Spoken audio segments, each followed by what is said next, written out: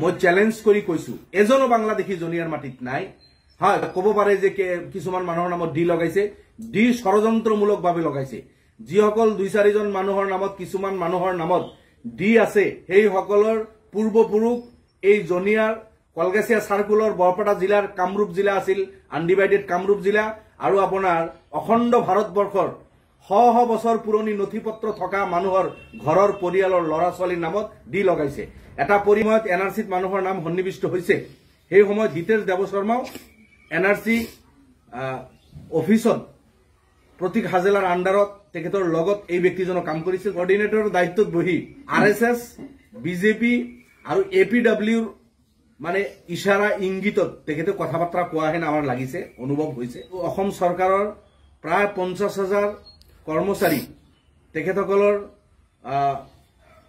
সহযোগিতাত N R চিত কাম হৈছিল। ডি চি ডিষ্ট্ৰিক্ট লেভেলত ছুপাৰভিজন কৰিছিল। চাৰ্কুল লেভেলত চাৰ্কুল অফিচাৰবিলাকে ছুপাৰভিজন কৰিছিল। ব্লক লেভেলত এল আৰ চি আৰ আছিল ডিষ্ট্ৰিক্ট লেভেলত ডি আৰ চি আৰ আছিল ষ্টেটত ষ্টেট কোঅৰ্ডিনেটৰ আছিল ফিল্ড লেভেলতো ভেৰিফিকেশ্যন হৈছে। গতিকে যিসকল ব্যক্তি এন আৰ চিৰ তেখেতসকলৰ ফেমিলি ট্ৰী হওক তেখেতসকলৰ ডাটা যিটো আপোনাৰ লেগেচি ডাটা এইখিনি ছাবমিট কৰিছে বা অন্য অন্য আৰু মাটি বা বিভিন্ন ৰেকৰ্ড ছাবমিট কৰিছে। এন আৰ চি যিসকলে কাম কৰিছে দায়িত্বশীল ব্যক্তি আছিল তেখেতসকলৰ হাতত জমা দিছিল। তেখেতসকলে পুংখানুপুংখানুভাৱে এইখিনি এক্সামিন কৰিছে। এবাৰ নহয় তিনি খল- খলপীয়া এইখিনিৰ এক্সামিন হৈছে। ফিল্ড লেভেলত কৰিছে ভেৰিফিকেশ্যন কৰিছে। আপোনাৰ চাৰ্কুল লেভেলত ভেৰিফিকেশ্যন হৈছে। ডিষ্ট্ৰিক্ট লেভেলত ডিষ্ট্ৰিক্ট মেজিষ্ট্ৰেটৰ নেতৃত্বত ভেৰিফিকেশ্যন হৈছে। ষ্টেট লেভেলত গৈ ফাইনেলি ভেৰিফিকেশ্যন হৈ এন আৰ চিত নাম সন্নিৱিষ্ট হৈছে। এই চব কিছু কৰাৰ পিছত এতিয়া হিতেশ দেৱছৰ লক্ষ্মণ ৰেখা অতিক্ৰম কৰি গৈ তেখেতে এটা পৰিৱেশ বেয়া কৰাৰ চেষ্টা কৰা বুলি আমাৰ অনুভৱ হৈছে। আকৌ একাত্তৰৰ পিছৰ কোনো মানুহৰ নাম এন আৰ চিত সন্নিৱিষ্ট হ'ব নালাগে। এইটো অসম চুক্তি মৰ্মে এন আৰ চি হৈছে সুপ্ৰিম কোৰ্টৰ ছুপাৰভিজনত হৈছে।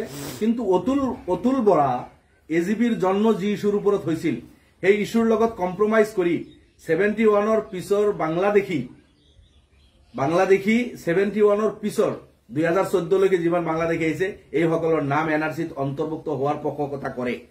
পীযুষ হাজৰিকা পোষকতা কৰে বিজেপি পোষকতা কৰে। গতিকে সেইসকল ব্যক্তি এন আৰ চি শুদ্ধ হৈছে অশুদ্ধ হৈছে এই ধৰণৰ কথা কোৱাৰ মই ভাবো তেখেতসকলৰ নৈতিক অধিকাৰে নাই।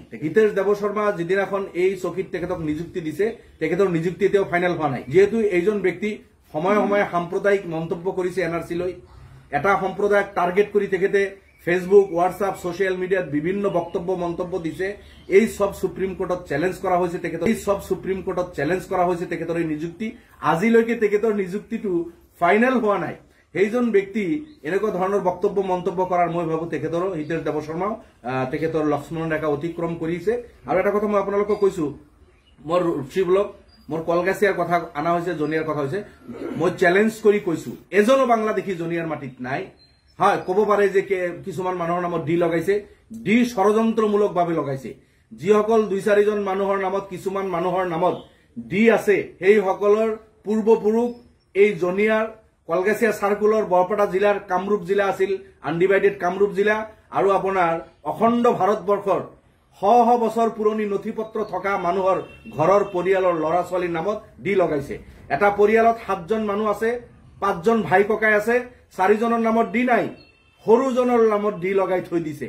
মা দেউতাৰ নামত দি নাই দাদা দাদীৰ নামত দি নাই নানা নানীৰ নামত দি নাই ভাই ভনী বাকী চাৰিজনৰ নামত দি নাই কোনোবা এজনৰ নামত দি লগাইছে।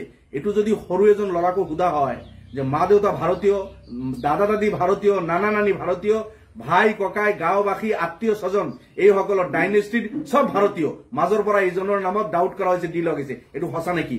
মই ভাবো সৰু ল'ৰা এটা জাজমেণ্ট দিব যে নহয়। এইটো মিথ্যা ষড়যন্ত্ৰমূলকভাৱে এইটো দি লগাইছে। আৰু আপোনালোকে যে নাইণ্টি ছেভেন এ জি বিৰ গভমেণ্টত লগাইছিল দুই একৰ পৰা কংগ্ৰেছৰ গভমেণ্ট দি লগাই আছিল বিদেশী বুলি এই চব ষড়যন্ত্ৰ কৰি মানুহক জালত ফচাইছে এনেকুৱা দুই চাৰিজন বা কিছুমান মানুহৰ নামত হয়তো দি আছে। আদাৰৱাইজ জনীয়া সমষ্টিত এজনো বিদেশী বাংলাদেশী নাই মই